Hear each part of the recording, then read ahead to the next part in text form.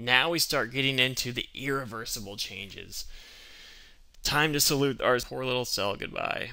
The first major irreversible change is a buildup in calcium. So just like there's a sodium potassium ATPase pump, there's also a calcium ATPase pump that requires ATP.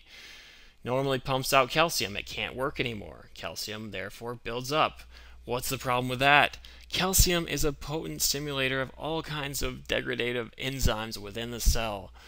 Oh no, it's just going to cause so much more destruction and damage to this poor cell. So enzymes that will tear up the, the membrane and, and the nuclear membrane and organelle membranes, like even lysosomal membranes.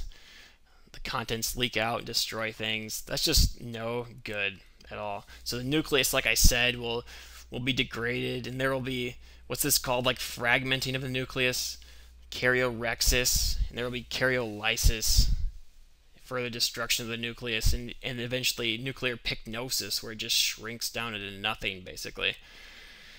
Oh that that's so sad. Oh man i feel for this cell.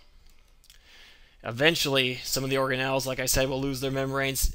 If the mitochondria loses its membrane what's within that that gets released cytochrome c remember that from apoptosis yeah that'll go and activate caspases which will then go degrade even more things. So just everything's going to get destroyed.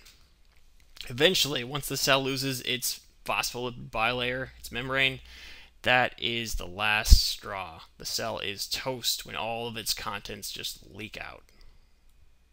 Such a sad tale. So that's why you, you've got to take your oxygen, kids.